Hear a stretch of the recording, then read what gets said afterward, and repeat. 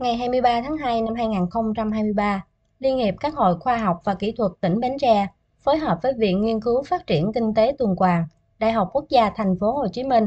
Công ty Cổ phần Sáng tạo Xanh Việt Nam tổ chức hội thảo thực trạng và giải pháp thúc đẩy kinh tế tuần hoàn, phục vụ phát triển kinh tế xã hội tỉnh Bến Tre.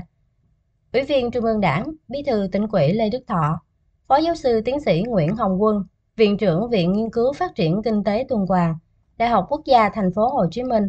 tiến sĩ Nguyễn Thanh Bình, Viện Nghiên cứu Phát triển Đồng bằng sông Cửu Long, Đại học Cần Thơ, Chủ tịch Liên hiệp các hội khoa học kỹ thuật tỉnh Bến Tre Nguyễn Quốc Bảo cùng chủ trì hội thảo. Hội thảo đã có những tham luận chia sẻ về thực trạng và một số mô hình kinh tế tuần hoàn đang triển khai trong và ngoài tỉnh trong thời gian qua. Đặc biệt là chia sẻ của Phó Giáo sư Tiến sĩ Nguyễn Hồng Quân về kinh tế tuần hoàn trong các lĩnh vực thủy sản chăn nuôi, trồng trọt, công nghiệp, du lịch, năng lượng tái tạo tại đồng bằng sông Cửu Long, trong đó có tỉnh Bến Tre. Chủ tịch Liên hiệp các hội khoa học kỹ thuật tỉnh Bến Tre Nguyễn Quốc Bảo cho biết, tiềm năng kinh tế tuần hoàn ở đồng bằng sông Cửu Long và Bến Tre khá lớn.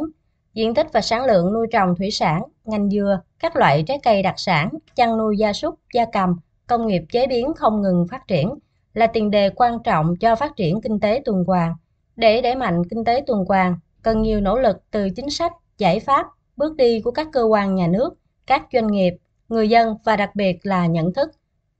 Bí thư tỉnh ủy Bến Tre Lê Đức Thọ mong muốn thông qua hội thảo làm thay đổi cách nhìn, thay đổi nhận thức và hành động trong sản xuất. Sản xuất kinh tế tuần hoàn cũng là lợi thế của đồng bằng sông Cửu Long nói chung và Bến Tre nói riêng. Lựa chọn kinh tế tuần hoàn là một giải pháp thông minh trong phát triển kinh tế xanh, bền vững, thích ứng biến đổi khí hậu. Nghiên cứu kỹ và chuyển nội dung chia sẻ tại hội thảo thành chương trình, kế hoạch cụ thể để thống nhất triển khai vào thực tiễn.